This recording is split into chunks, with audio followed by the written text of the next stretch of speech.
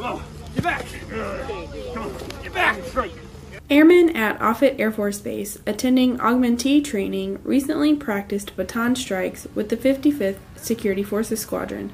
The Red Man training is a high intensity attack training that simulates a real world scenario that could happen if these airmen are called to duty. I sat down with Senior Airman John Bodenhammer of the 55th Security Forces Squadron Training Section.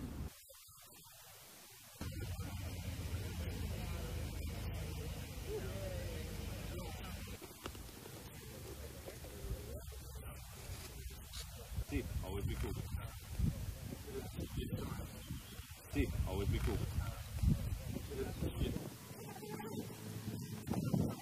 on, you got it. Get up, get up, get up.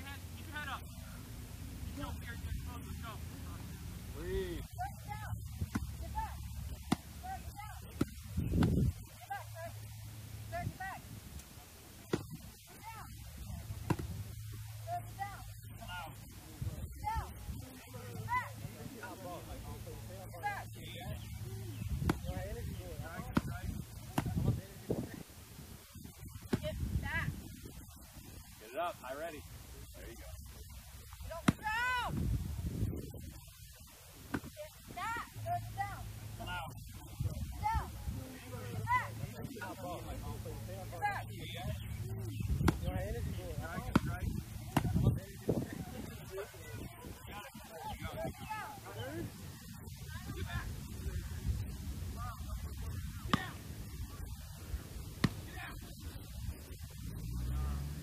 Get down on the ground. Get down on the ground. Get down on the ground. Now, back up. Back up. Man. Back up.